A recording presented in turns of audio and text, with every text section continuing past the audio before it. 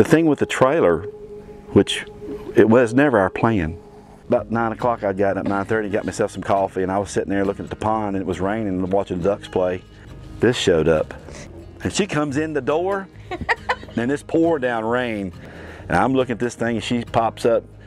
So what do you think? You think we can fix this? Well, I'm not a drinking man, but I think if I'd had some good old Captain Morgan to spike my coffee with at that time, I would have whipped it up there, man. I was like, man. and I said, uh, I think we can make this into like a little cottage. And so that's where it all. And then I told her to draw it up. And the minute I hit the highway in it, cars were pulling around us and pulling in front of us. And taking pictures. And, pay, and, and we're taking their, the pictures and they were waving at us. Yeah. I pulled in to get gas at the pilot station in Brunswick, Georgia. There was five cars followed me in. And I, I got out and I'm looking back there and this lady's, is this blonde-headed lady, she just threw her hand out. I love your trailer. Can I look at it? I look at my wife and says, well, can, can you open it up? Uh, People want to see it. It was just an amazing a feeling. Then we'd leave and they'd say, well, thank you so much for showing us. It's just brought back so many good memories from when they were children. And uh, that's a great feeling. Hello, my name is Bobby. I'm Sharon, and we traveled the country from East Coast to West Coast in our 1970 Holiday Rambler. People have always asked us, a 1970, why? From my perspective, it's got good bones. That much I did know from hearing people talk, the information we were gathering, because we've been looking for three years, maybe buying something, a school bus, an old trailer, an old Airstream, and we run across this. She did. And I was working a lot back in those days. So I relied on the little lady. It's 29 feet long, and it weighs fully loaded 7,000 pounds. And that's pretty neat. And the color is tantalizing teal. And yes, people say that's an awning on there. It came with a 21 foot awning. I'm a spec kind of guy, and I love specifications. So we try to keep it as original with the outside that we could because we had to change the inside totally. It runs 15 inch wheels, 15 inch tires. I used the Goodyear Endurance, which have been marvelous, marvelous. She did the little holiday sign there. As you can see the difference in the metal here, this was painted, we're still, we are still stripping all the old paint off of this molding. But it's gradually coming off on its own, so that's saving us some work. so, you know how it is when you have something old like this. And this is the thing for the Phoenix, that's why we named the trailer the Phoenix, because we felt like we brought it back from death. And give it, uh, I like to repurpose things, I like to save. And that's just part of the, the knack of doing things with me. I enjoy repurposing and, and, and seeing what you can do with your hand, the creation, you know, of what you can do. It's really cool. Original door. I took it apart, I did a video of it, I rebuilt it. And that's the original screen, 1970. I just rescreened it. And these steps, a lot of people ask us about the steps. These are marine grade by Taylor. And you use these on boat docks and stuff. And they'll hold 500 pounds. It didn't have any tanks, didn't have none of this stuff on it when I got it. So I had to buy all this stuff and weld the plate, put everything here on it because it didn't have none of this. And the wi- windows were all original. This was an upscale model. We found this out from Holiday Rambler with the fat, flat windows, sliding windows, and they're safety glass. Isn't that amazing? This is one of the neat features about these old trailers like this. You get these little awning, and I rebuilt this awning because it's fiberglass. It's uh, an eighth inch thick fiberglass plate in little sections here, and it has holes knocked all in it. And I repaired it and re- I repainted it. And over here, this is just our, our advertisement side. That's what I call it anyway. Uh, I got a few things here with this. With this fan, it didn't come with a fan in it, so I bought this through a, the dealer out of uh, Indiana.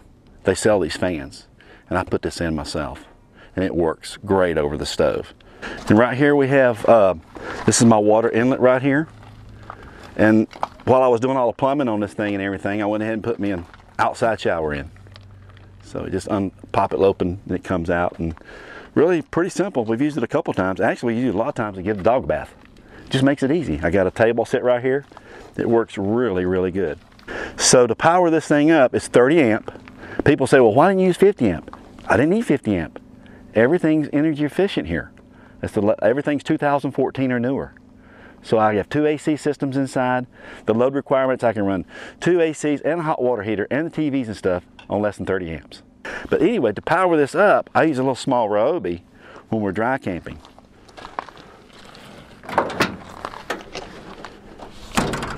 And a lot of times uh, people say you can't do it, but I leave my generator back in my truck. Uh, I have a thermoset back here that I'll check, see what the temperature is on this thing. And if it gets starts getting hot, the exhaust too hot or something, or too much of a load, I got a little metal plate that I put back in and it blows it right up. But don't run it in closed. That's not safe to do it like that.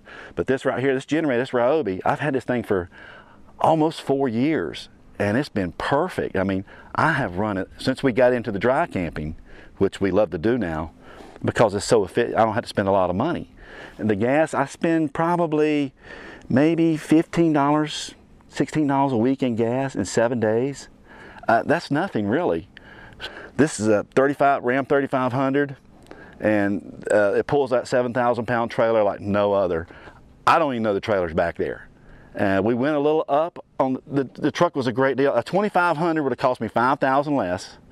But I got a bigger engine in this and I got a bigger, heavier duty truck. So if I did want to move a friend's RV or help someone out, I've got the truck to do it.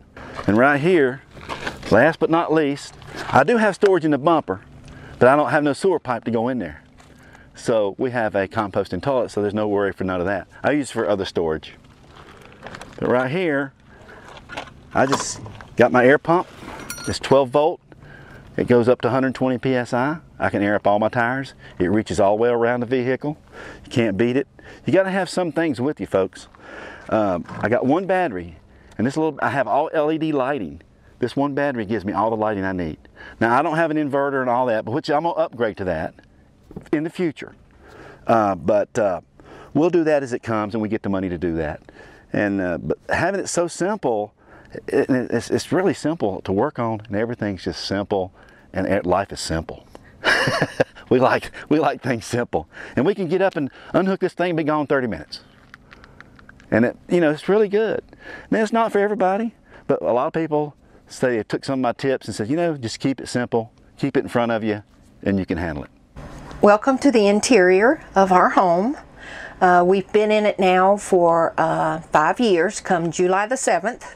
We did all the work on the inside ourselves. We gutted it and started all over because it was not, we could, it couldn't be saved.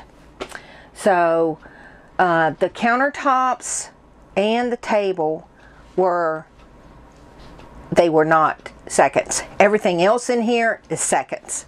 So the cabinets, everything. And Mr. Childers is not a carpenter, but he did a dang good job. None of the uh, interior in here was original at all.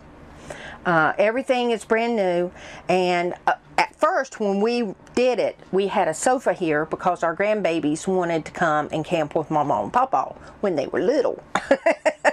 so after they got too big we decided that a uh, table here that doesn't fold down into a bed was perfect because he can work on his financials right here at the table and uh, you know it just makes it easier to have two places to work.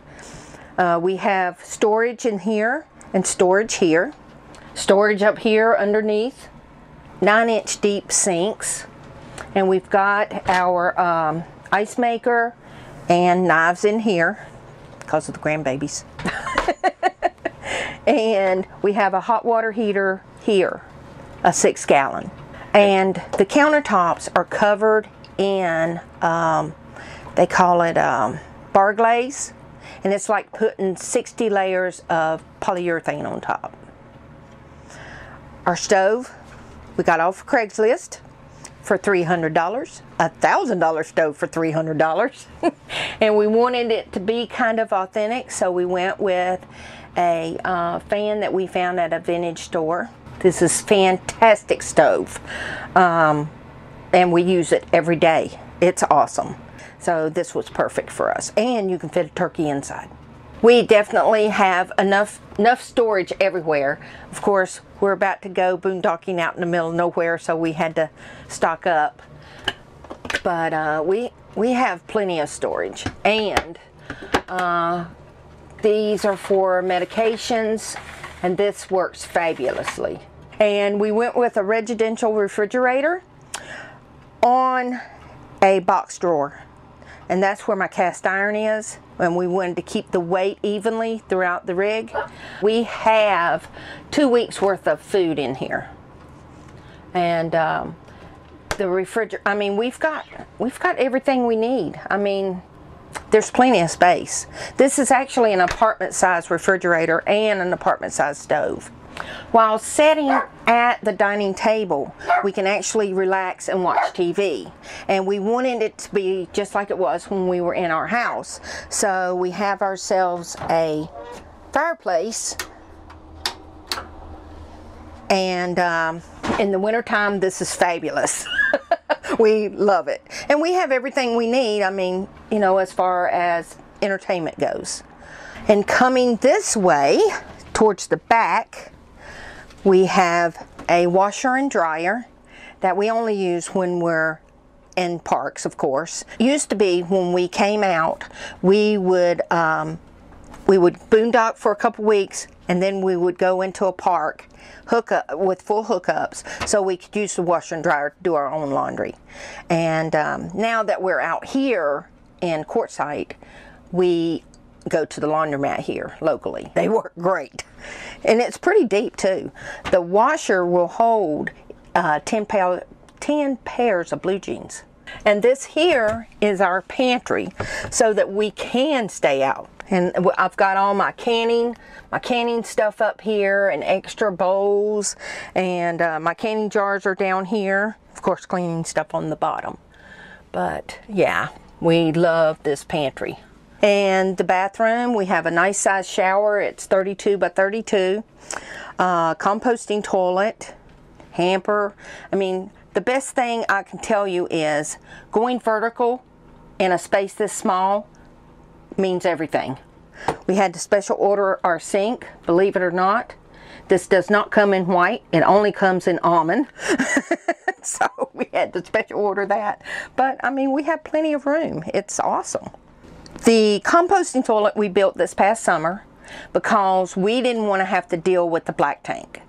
And we didn't want to have to deal with being hooked up in an RV park because these vintage trailers were meant to be hooked up in an RV park. So they didn't have the tanks and everything that everybody else has. So going composting for us was the ticket. So we built this this past summer and it has worked out marvelously. And this is our bedroom. And we really love it. Lots of storage under the bed. We actually um, made it higher than normal because I have all my camera gear under there plus my father's camera gear under there. When I envision, envisioned this bedroom, I was thinking about a uh, cabin on a cruise ship. I was like, well, I don't want I don't want doors. I don't want something to be hindered.